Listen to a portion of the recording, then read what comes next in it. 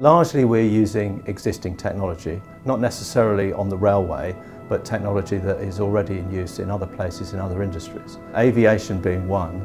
Um, if you look at what's happened at Heathrow, the, the capacity at Heathrow sort of plateaued basically.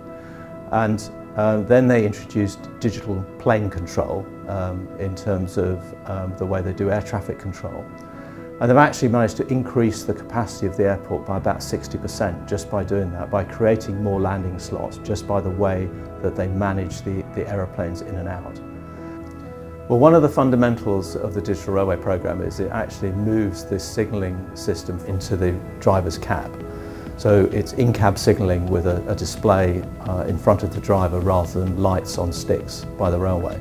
Technology does move fast, uh, and one of the things that we have to address is looking at more open architecture systems that we can be more agile with in terms of implementing and not having to rely on expensive and lengthy updates. We want to try and uh, improve the customer information and the customer experience as well. So that's, that's something that's very much in the train operator's domain. We want to put more trains on the network.